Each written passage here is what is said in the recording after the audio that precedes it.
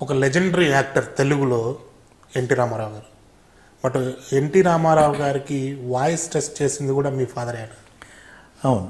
ఆయన సినిమా రంగంలోకి వెళ్ళినప్పుడు మొట్టమొదటిసారిగా ఆయనకి వాయిస్ టెస్ట్ చేసింది ప్రభాకర్ గారు అని చెప్పి ఆ, పురంధరేశ్వరి గారు లాంటి వాళ్ళు తను చెప్తే నాకు అప్పటిదాకా తెలియదు. ఏదో సందర్భం వచ్చినప్పుడు ఆమె చెప్పడం. అలాగే నేను పురంధరేశ్వరి శ్రేయర్కి ఆమె కేంద్ర మంత్రి ఎంపీగా ఫస్ట్ టైం ఎంపీగా అయినప్పుడు నాకు ఉన్నటువంటి పరిచయాలు ఢిల్లీలో మేము ఇద్దరం కలిసి ఫొత్తిదార్ వారిని కలిసినప్పుడు ఆయన చెప్పడం. ప్రభాకర్ గారు రాజ్యసభ ఇవ్వాలని చెప్పి గట్టిగా ఎన్ ఇవ్వాలి. చ- చాలా ఒక అద్భుతమైన కళాకారుడు. ఇవ్వాల్సిన అవసరం ఉందని చెప్పి ఆయన గట్టిగా అడిగినప్పటికీ అప్పుడు ఉన్నటువంటి భవన్ వెంకటరామరెడ్డి గారు దాని మీద ఒక నిర్ణయం తీసుకోలేకపోవడం అందువల్లే తెలుగుదేశం పార్టీ ఆవిర్భవించిందని చెప్పి ఫోతిదర్ గారు పురంధరేశ్వరి గారితో చెప్తా ఉంటే ఆ సందర్భంలో మా మాటల్లో వచ్చినటువంటి ఇన్ఫర్మేషన్ అది. సో టూ థౌజండ్ టూలో రాగానే ఇక్కడ మీరు స్టార్టింగ్ విత్ మళ్ళీ ఏంటి బిగిన్ చేసాము మేము ఒక సే నాన్నగారి పేరు మీద చారిటబుల్ ట్రస్ట్ స్టార్ట్ చేసి ఆయన ఆలోచనని ఏ రకంగా ముందుకు తీసుకెళ్ళాలి ఈ ఈనాటి తరానికి ఏ రకంగా ఆయన్ని ఆయన ఆలోచనని మరి వాళ్ళకి అందచేయాలనేటువంటి క్రమంలో కోన చారిటబుల్ ట్రస్ట్ ద్వారా ఇందాక మీకు చెప్పినట్టుగా ఈ మూడు ప్రోగ్రామ్స్ని ప్రధానంగా తీసుకుని ఆ సందర్భాలను క్రియేట్ చేసుకుంటూ మేము ప్రజల్లోకి వెళ్ళాము మరి ప్రతి సంవత్సరం కూడా కోన ప్రభాకర్ నాటక కళా పరిషత్ ద్వారా త్రీ డేస్ ఒక ఫెస్టివలే ఒక పెద్ద పండగలాగా బాపట్లో ఇన్విటేషన్ మీద మరి ఆంధ్రప్రదేశ్లో ఎన్నో అవార్డ్స్ గెలుచుకున్నటువంటి నాటకాలను మేము సెలెక్ట్ చేసి ఇక్కడికి తీసుకురావటం. ఆయన పేరు మీద ఒక మూడు రోజులు ఒక కార్యక్రమాన్ని ఇక్కడ మేము చేపట్టడం ఈ రకంగా ప్రజలకి చాలా దగ్గరికి అయ్యాం ప్రభాకరరావు గారి ఆలోచనలని పంచుకోగలిగాం.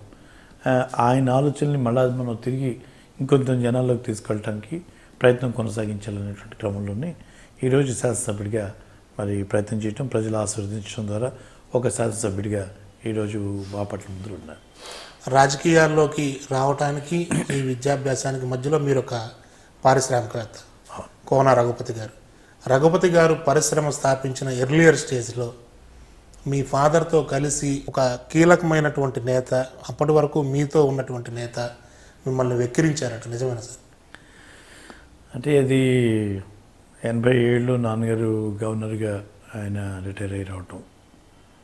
జస్ట్ అప్పటికే ఒక ఫైవ్ సిక్స్ మంత్స్ ముందర నేను ఇండస్ట్రీ స్టార్ట్ చేయటం. జలగం వెంకటరావు గారు. అప్పుడు ఆయన డిఫెన్స్ మినిస్టర్గా ఉన్నారు. నేను ప్రాగా టూల్స్ లిమిటెడ్కి యాన్సరీగా స్టార్ట్ చేసినటువంటి ఇండస్ట్రీ సరే ఏదో పరిచయం ఉంది మనవాడు మంత్రిగా ఉన్నాడు. ఏదైనా ఒక మాట చెప్తే అది ఏమైనా మేలు అవుతుందేమో అని చెప్పి నాన్నగారు తీసుకెళ్ళటం. ఆ రోజు జరిగినటువంటి సంఘటన నన్ను ఒక రకంగా డబ్బు సంపాదించాలి. అంటే డబ్బు లేనిదే విలువ లేదు అనేటువంటి ఒక చిన్న ఫీలింగ్ ఎందుకో కలిగింది అది.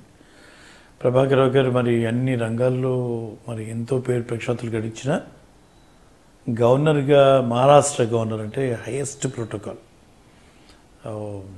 ఉన్నటువంటి గవర్నర్గా చేసినటువంటి వ్యక్తి తిరిగి వస్తే ఇంట్లో కనీసం కారు కూడా లేదు. ఆయన ఇంటి నుంచి ఆటోలో గాంధీ భవన్కి మళ్ళీ వెళ్ళేవారు. ఆ పార్టీ మీద ఆయనకున్నటువంటి భ్రమ. మరి ఆ క్రమంలోనే నేను ఇండస్ట్రీ పెట్టడం ఆ ఊడిదుడుకుల్లో మేము ఉన్నవి ఏదో నా దగ్గర దాంట్లో మరి ఆటోలోనే మేము ఆ రోజు ఆయన ఇంటికి వెళ్ళటం ఇవన్నీ కారణమా అనిపిస్తుంది? ఆయన మహారాష్ట్ర గవర్నర్ చేసినటువంటి వ్యక్తిని దాదాపు వెంగళరావు గారిని కలిసి మాట్లాడటానికి రెండు గంటల టైం పట్టింది ఆయన ఇంట్లోనే అట్లా వెయిట్ చేస్తూ. ఆ తర్వాత ఆయన ముక్తసరిగా మాట్లాడటం చాలా బాధ వేసింది. నా కంక్లూషన్ ఆ రోజు ఐ ఫెల్ట్ ఇదేంటి డబ్బు లేదని నా ప్రభాకర్ గారికి ఇంత చిన్న చూపు. సో ఖచ్చితంగా మనం సంపాదించాలి అని కష్టపడాలి సంపాదించాలన్న దాంతోనే. మరి ఆ రోజు నుంచి కసిగా నేను మారని. థ్యాంక్స్ టు వెంకటరావు గారు.